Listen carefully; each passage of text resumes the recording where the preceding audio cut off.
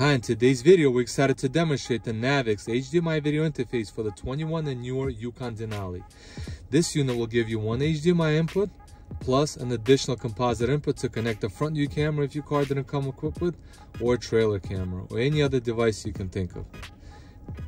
To activate the HDMI input, you, you double press the telephone hang up button on the steering wheel,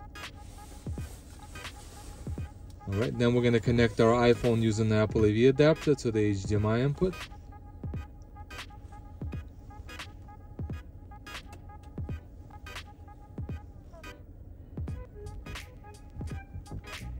All right, we'll show you a YouTube video. It does take over the full screen.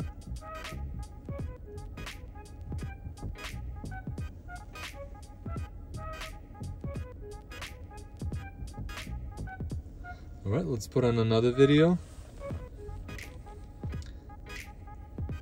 And while we're switching the video, like I said, with this unit, you could also add a front view camera, but this particular truck comes fully equipped with the front camera.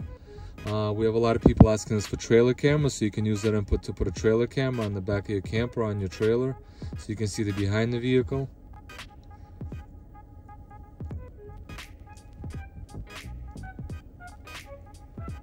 All right, there you go. If you have a 21 and newer GMC Yukon Denali, we have a video interface for your vehicle.